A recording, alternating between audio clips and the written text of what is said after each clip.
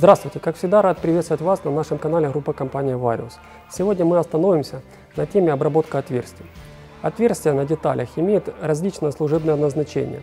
Их используют для соединения деталей в узлах при помощи крепежных элементов, таких как болты, винты, штифты и шпильки. Сам процесс сверления – это получение сквозных и глухих отверстий в сплошном материале заготовки спиральными сверлами.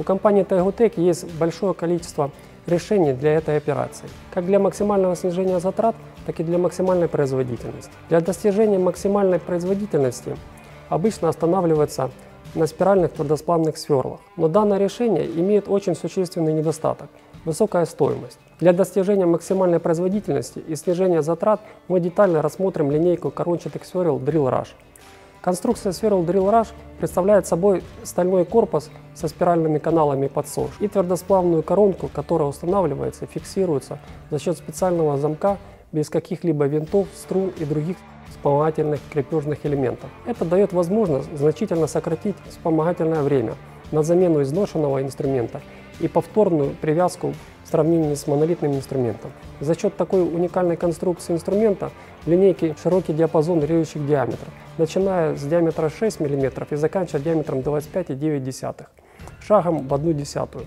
При этом в рамках одного корпуса можно устанавливать до 10 коронок разного диаметра. Например, на корпус сверла 20 размера можно установить коронку с диаметром от 20 до 29 это дает возможность уменьшить количество инструментов и расширить функционал инструмента в рамках одного корпуса. В процессе сверления одной из важных задач является контроль стружки, а именно достижение сегментной стружки в виде завитка и вывод ее из отверстия. При обработке различных видов материалов формирование стружки происходит по-разному, поэтому для каждого типа материала существует своя геометрия. Геометрия P предназначена для обработки углеродистых или гированных сталей.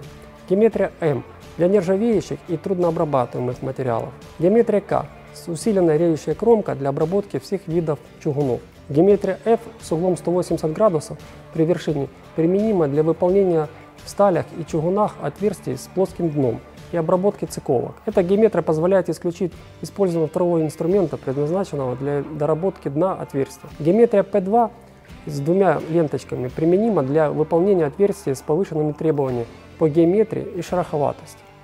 А твердосплавная головка без покрытия с геометрией N используется для обработки цветных металлов, такой как алюминий. Обработку отверстий производят как в листовом прокате с малой толщиной, так и выполнение операций глубокого сверления.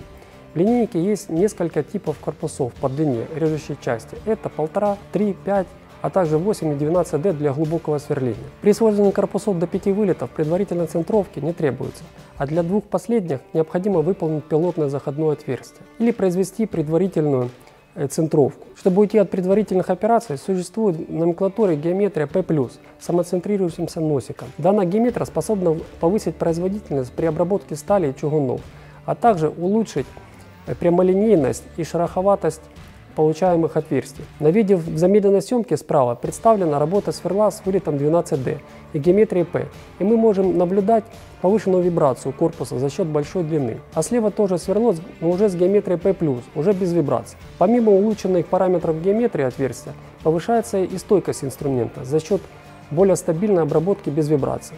В одном из случаев на одинаковых режимах резания сверло диаметром 9,7 мм с вылетом 8D при обработке углеродистой стали 45 были испытаны две геометрии P и P+. В результате теста коронка с геометрией P+, показала значительно лучшую шероховатость обработки. В другом случае сверлом диаметром 18 мм с вылетом 5D выполнялось центральное отверстие детали корпус из легированной стали 30 ХГСА на токарном центре Дусан.